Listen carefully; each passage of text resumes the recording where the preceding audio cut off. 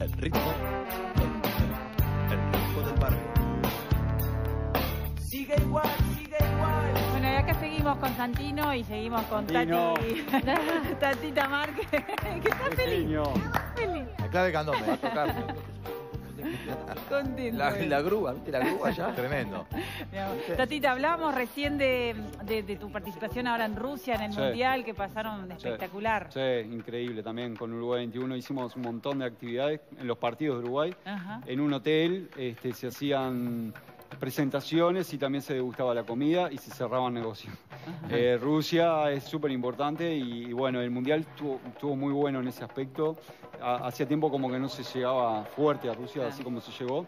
Y ahora nos, nos pidieron volver en febrero y ahora volvemos de vuelta antes de ir a China en agosto. O ¿Y cuánto que ayudó Natalia generó- Oreiro también en ese no, Natalia Oreiro, mira, yo hacía una práctica este, casi diaria con colegas de ustedes, este, con Cata Ferran, que me llamaban este, y aparecía en vivo. Y este, les, les preguntaba a cualquier persona en la calle, ¿conocen a Natalia Oreiro? Y decía, sí, Natalia Oreiro.